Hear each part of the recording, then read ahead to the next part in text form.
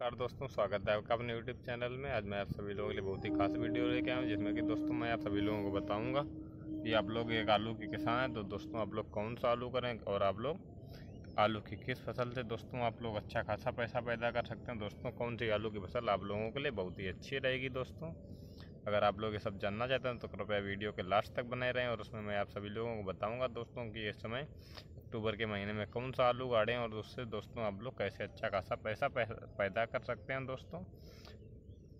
चलिए ज़्यादा देर ना करते, शुरू करते हैं आज का वीडियो। जैसा कि दोस्तों आप सभी लोग जानते हैं कि दोस्तों आलू की एक ऐसी फ़सल है, जो कि दोस्तों किसी भी समय पूरे साल में उसे खान, सब्ज़ी के रूप में इस्तेमाल करते हैं दोस्तों, और उसे हम उससे सारे भारतवासी और उसे देश विदेश के लोग भी दोस्तों सब्ज़ी की जगह पे इस्तेमाल करते हैं। दोस्तों जैसा कि आप लोग जानते हैं कि दोस्तों आलू की डिमांड बहुत ही ज़्यादा रहती है दोस्तों तो इसलिए दोस्तों हमें ये समझना है कि दोस्तों हम लोग कौन सा आलू करें और जिससे कि हमें अच्छा खासा पैसा मिल सके। तो जिसमें कि दोस्तों आज मैं आप सभी लोगों की वीडियो लाए इसमें मैं दोस्तों आप सभी लोगों को बताऊँगा हाईलैंड आलू के बारे में। अगर आप लोग हाईलैंड आलू करते हैं तो दोस्तों आप लोगों को कितना अधिक फ़ायदा हो सकता है और दोस्तों आप लोगों को आइलैंड आलू करते समय किन किन बातों का ध्यान रखना और आप लोगों को आइलैंड आलू को किस तरह से करना है, मैं आज आप सभी लोग इस वीडियो में आप सभी लोगों के लिए एक पूरा तरीका लेके आए जिसमें कि दोस्तों आप सभी लोगों को बताऊँगा कि आप लोगों को आइलैंड आलू किस तरह से करना है और दोस्तों उससे आप लोग अच्छा फ़ायदा फ़ायदा कैसे कर सकते हैं। तो मैं सबसे पहले तो आप लोगों को बताना चाहूँगा कि आप लोगों को दोस्तों आइलैंड आलू किस प्रकार से गाड़ना चाहिए। तो दोस्तों हम लोग आइलैंड आलू को दो प्रकार से गाड़ सकते हैं। जैसा कि एक लोग, एक प्रकार से हम आलू की गुल्ली, यानी कि जो छोटा छोटा आलू होता है, दोस्तों उसे हम गाड़ सकते हैं और दूसरा होता है दोस्तों आलू की पीस काट गया है आलू की कतरिया काट के, देहाती भाषा में जैसे कहते हैं दोस्तों। तो आलू के हम एक आलू के चार से पाँच टुकड़े करते हैं, वो उस आलू के साइज़ पे डिपेंड करता है। दोस्तों आप, हम लोग इसे इस तरह से भी काट सकते हैं, लेकिन आज दोस्तों, अगर आलू की हम कतरिया करके काटते हैं तो हमें दो तीन चीज़ों का ध्यान रखना है दोस्तों, जो कि मैं आप सभी लोगों को बताने वाला हूँ। आलू के तरिया काटने के लिए दोस्तों में ये देख लेना कि दोस्तों अगर हमारा खेत बालू वाला है, अगर हमारे खेत में बालू थोड़ी ज़्यादा है तो दोस्तों हमें उस खेत को, नमी को ध्यान में रखते हुए दोस्तों आलू की फ़सल में या आलू जो कतरिया की फ़सल है, इसे गाड़ना है कि दोस्तों जो बालू वाली फ़सल होती है, उसमें दोस्तों कतरिया जो है थोड़ी सी ज़्यादा सड़ती है।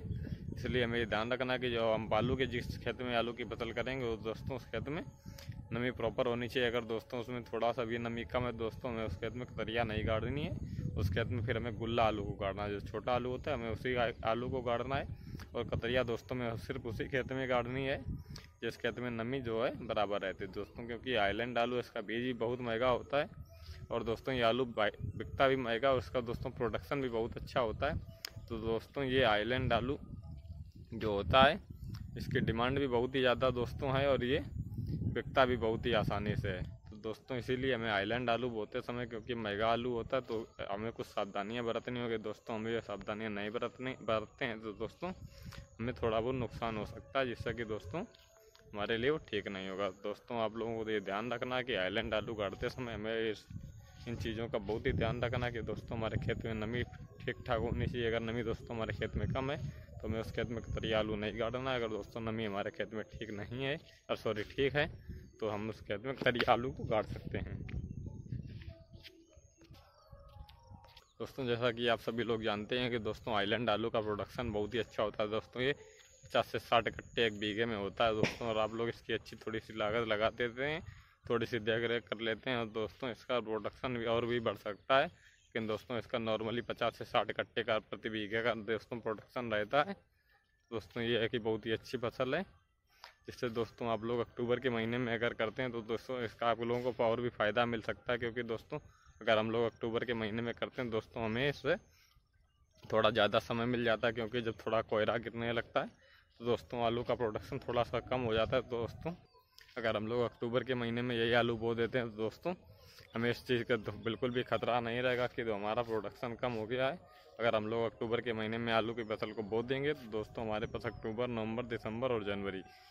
चार महीने चार महीने में दोस्तों हमारा आलू लगभग तैयार हो जाता है। उसके बाद जो एक महीना हमें लगता है, वो दोस्तों हमारा आलू को पकने में लगता है दोस्तों, अगर आपको। अगर आप लोग भी आलू की फ़सल करते हैं तो दोस्तों आप लोगों को इन्हीं सभी चीज़ों का ध्यान रखना है। और अगर आप लोग आइलैंड आलू करते हैं तो दोस्तों स्पेशली इस चीज़ का बहुत ही ध्यान रखना है।